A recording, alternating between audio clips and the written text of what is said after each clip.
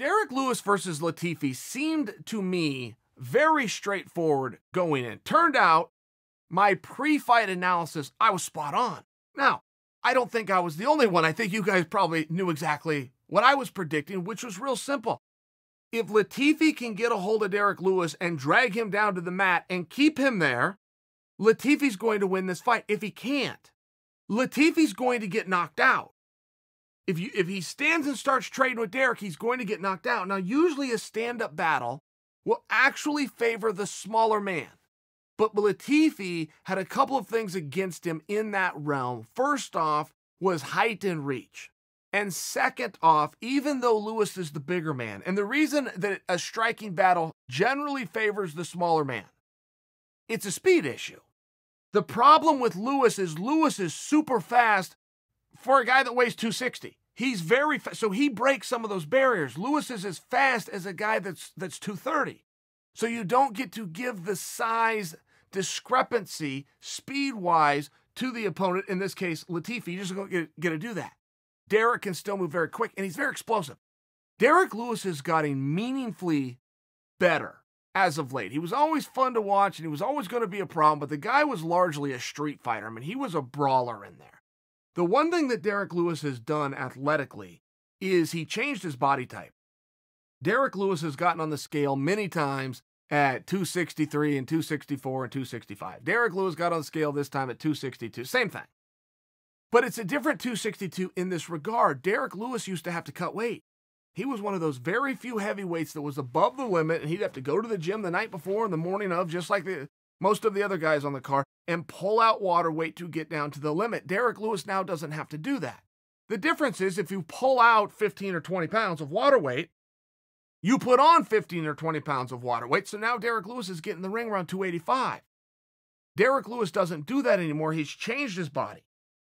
He's taken off 20 pounds. He's cannibalized himself. Well, that makes him more faster. That makes him more athletic. It makes him more, more agile, but more than anything, it allows his endurance and his pace and his conditioning to extend and go further.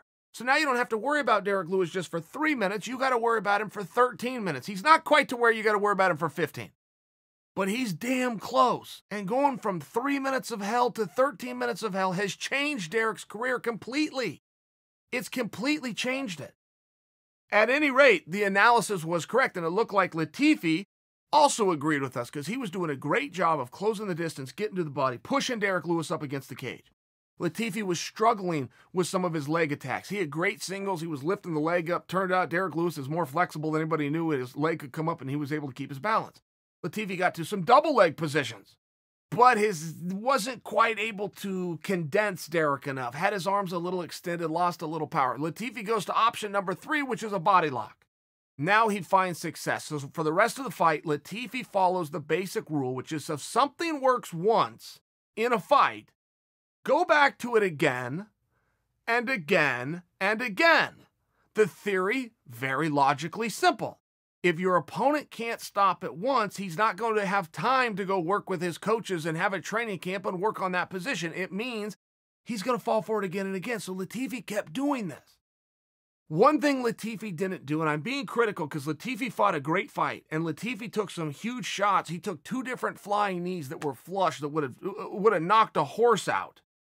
Latifi wasn't phased by it at all. I mean, Latifi looked really good in this contest. One thing that worked against him is when he got a dominant position, meaning top control.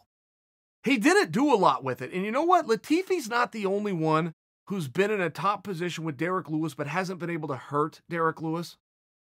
I can't see it from TV. I can't see what Derrick's doing down there. As a matter of fact, it looks to me like he's doing nothing that resembles jujitsu. It looks to me like he's laying there. I don't see Derrick shifting his hips. I don't see Derrick threatening arm bars or guillotines or anything of the sort. It looks like he's laying there, but he's doing something because nobody ever, and I mean ever, postures up and starts raining down on Derrick. The only person that came close to even attempting this was Daniel Cormier. All these other guys that get on top of Derrick, including his last fight with Blagoev, including in that contest, Blagoev, who would get to a dominant position, could do nothing with it. I mean, no posture, no looking for elbows, no body, body, head. let alone the big posture and the big finishing shot. Nothing. Derrick is doing something that I can't see to tie these guys up and make them not want to make separation. What that's doing is giving Derrick an ability to catch his breath. I don't know if I've ever seen a fighter better at finding places to rest than Derrick Lewis. Now, every fighter tries to find places to rest. It's just hard. In some sports, like I came from amateur wrestling, there's places you can get. You can get what's called a two on one, where you grab grab a guy's arm or you tie up his wrist or you get him in a front headlock and you just catch your breath. There's ways you can do that, but in fighting, a guy's not trying to score on you, he's trying to create damage to you. So there's really nowhere to stop. There's nowhere to. Br- Derrick Lewis is one of these guys. He can do it up against the fence, catch his breath, and then go do a big explosion. He can do it from the bottom, where guys, for whatever reason, are afraid to create a separation. They're feeling something. It wasn't just Latifi.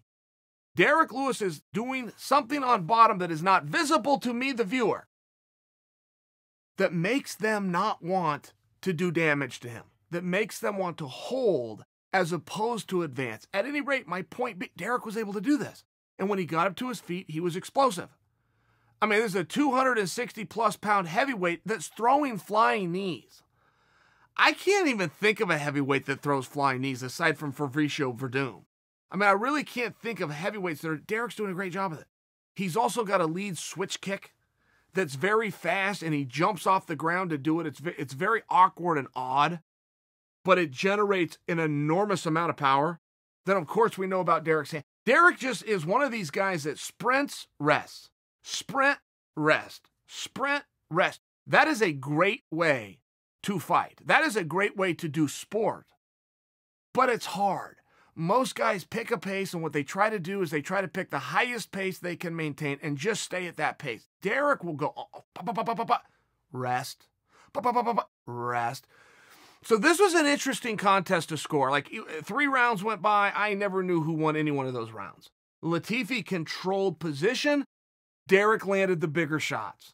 Latifi controlled position longer then Derrick landed shots, but Derrick arguably did more damage with those shots. Now, that argument gets decided by the jury known as the judges.